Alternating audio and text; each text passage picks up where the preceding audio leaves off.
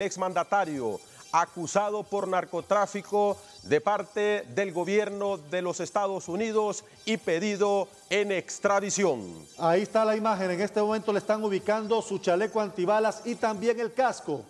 Se le ha notificado la orden de aprehensión, se le ha entregado su casco, noticieros hoy mismo, único medio de comunicación con, con imágenes junto con HRN, con la información, le están poniendo cadenas incluso. Sí, lo Le están, lo están encadenando. Va esposado, va esposado de pies y manos.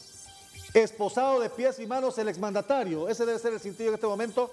Esposado de pies y manos el exmandatario. Será trasladado con chaleco antibalas, un casco y esposado de pies y manos. Lo que se presumía no se vería, Cristian, compañeros de la tarde. En este momento está saliendo ya de la residencia esposado de pies y manos con chaleco antibalas.